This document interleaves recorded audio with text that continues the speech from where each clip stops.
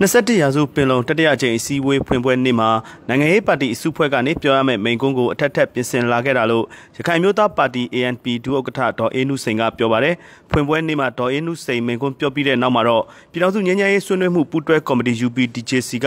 ဒီမိန့်ခွန်းကသူတို့ရဲ့သဘောထားမဟုတ်ဘူးလို့ထုတ်ပြန်ခဲ့ပါတယ်။ဒေါ်အေးနုစိန်ကတော့သူပြောရမယ့်မိန့်ခွန်းအတွက်အသေးချာကိုပြင်ဆင်လာခဲ့တယ်လို့ဆိုပါတယ်။ဒီလိုကြီးကျယ်တဲ့နိုင်ငံတော်အခမ်းအနားမှာမိန့်ခွန်းကို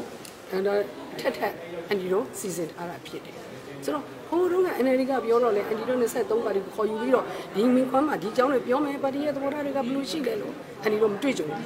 ဖီခိုင်မင်းကပြောတော့လေအဲ့လိုမျိုးတစ်ခါမှမတွေ့ကြဘူးပါ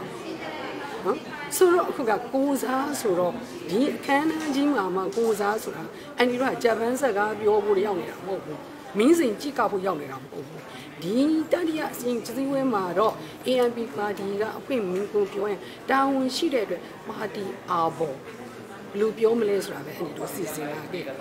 ဒွိုင်းနုစိန်ပြောတဲ့မိန့်ခွန်းထဲမှာတော့ဘင်္ဂလီအရေးနဲ့ပတ်သက်ပြီးအနောက်ဒီမိုကရေစီအင်အားကြီးနိုင်ငံအချို့ကုလသမဂ္ဂအဖွဲ့အစည်းအချို့နဲ့ OIC အဖွဲ့ဝင်နိုင်ငံတွေကဖိအားပေးပြီးနိုင်ငံတကာပြဿနာအဖြစ်လှုံ့ဆော်နေကြကြောင်းရခိုင်အရေးကအလွန်ရှုပ်ထွေးနေပြီဖြစ်တဲ့အတွက်အစိုးရလွှတ်တော်တက်မတော်တို့သဘောထားကတသားတည်းရှိဖို့နဲ့အထူးသဖြင့်ရခိုင်လူမျိုးတွေရဲ့အတန်ကိုနားထောင်ဖို့ရခိုင်ပါတီတွေကိုနိုင်ငံရေးအခမ်းကဏ္ဍကနေမပစ်ပယ်ဖို့ထည့်သွင်းပြောကြားသွားခဲ့တာဖြစ်ပါတယ်။